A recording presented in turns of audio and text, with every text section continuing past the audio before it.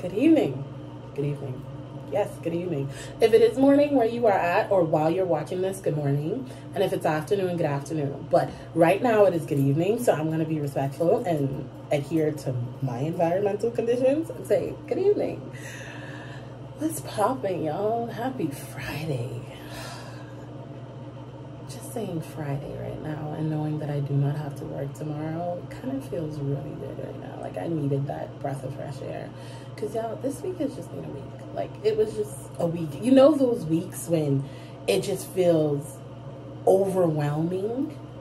And in some cases you know why, but sometimes you don't. But it's just like, I just need this week, just this period of time to be done, to be finished. Okay? That's what this week was for me. So thank you for joining me again. Had to get all of that out. It's out. I'm done. I promise. To those of you that are new, welcome to my channel. My name is Katie, and here I talk about life, life lessons, holistic remedies, health, fitness, anything uh, I'm just on a journey, and whatever I learn on this journey, I, I feel as though it would be beneficial to others because I don't think I'm the only person who's going through these struggles. If I am, well, y'all don't learn today. um, how are you guys? How are you guys feeling? Let me know. Talk to me. This is, I'm a human, I'm a person. I'm out here just trying to make it like y'all.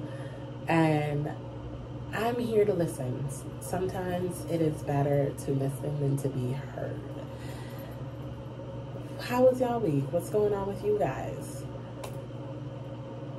Let me know in the comments. Chat to me, message me if you need the private message, whatever it looks like for you. But let me know what's going on in your head. If you have any ideas of what you want me to talk about, or if you want my viewpoint or something, or maybe you just kind of just want to throw some pointers out there, I accept it all.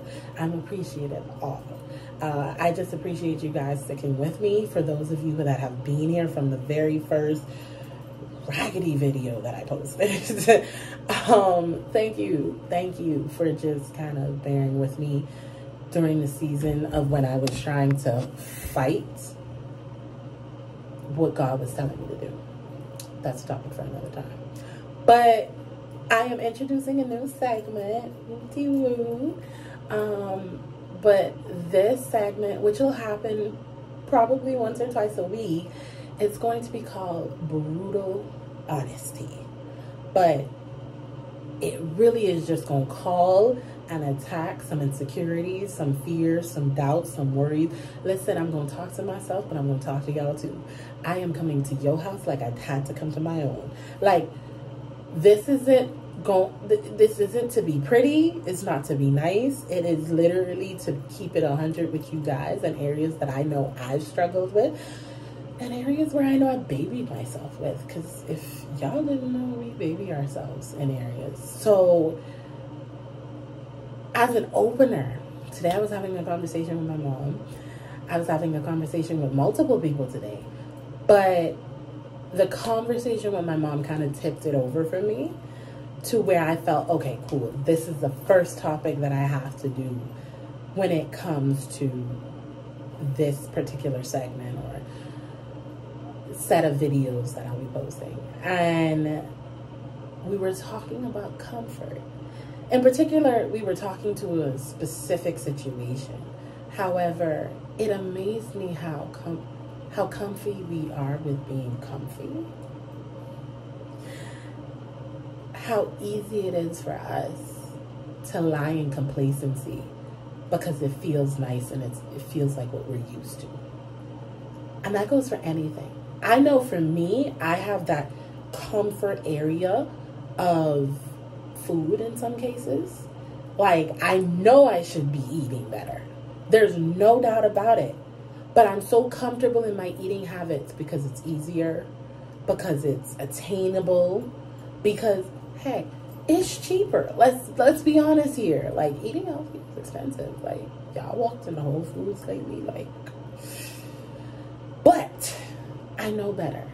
Like as a person who has studied herbs, who is a herbalist, I am all for holistic remedies and healthy eating. I know better. Why can't I do better? And in this moment of being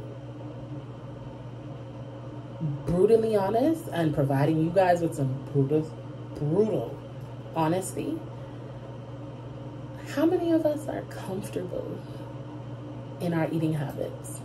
Comfortable in being lazy? Comfortable in spending what we spend, knowing we don't have to budget. We should budget. It's recommended to budget. If we're trying to reach a certain goal, we need to budget, but we ought not to.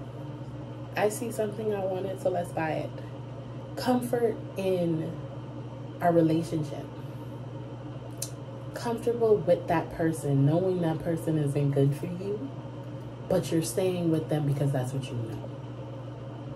You're allowing yourself to be complacent. You may think, hey, you know, what this person has, it's not pushing me, propelling me towards God, towards purpose, but yet I'm still here. Why? Are you really that comfortable? Is it really that familiar? As I began to kind of just reflect on it, and personally, like I keep it real, there has been many times where I've just been comfortable. I've been in that little bubble where for me, I knew what it was. I, I knew what I was doing. It was that familiar territory. Once I step out that familiar territory, now I have to readjust. Now I have to adapt. I don't want to do that. Will it benefit me in the long haul? Like, will this take me to levels I never would have thought of? Absolutely. But the risk that it takes, the unfamiliarity that it has, do I really want to go through that? Sometimes we settle with comfort because it feels better than dealing with something that we're not familiar with. Or maybe starting over. Maybe if you leave that relationship, you actually have to start from scratch. And you've already invested five years with that person. So why am I going to give up the five years that I put in to go start over with somebody else? I don't know who I'm talking to, but just to let you know, boom, maybe that person wasn't for you. Maybe you were a stepping stone to who they should really be with. Maybe they were a stepping stone to who you should be really with. Maybe we're comfortable in a job. We know they don't pay all what we deserve and all what we're worth. But you know, the, the people around us, they cool.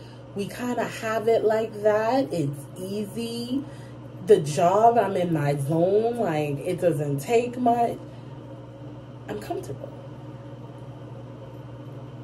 Keep it real with yourself if you're comfortable because if you're trying to figure out why I cannot elevate, growth and comfort cannot lie in the same place.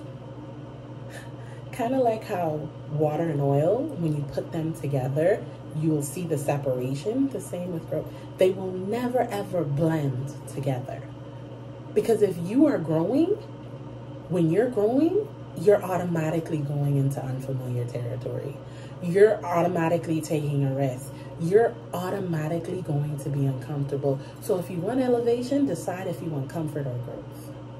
Like determine whether you just are okay with staying where you are or you really want to take it there. Because if you really have that conversation with yourself, just like I have that conversation with myself. I tell myself, you comfy, too comfy. So if you want to be too comfy, cool. Just don't expect to go nowhere higher, no further. And that's the God honest truth.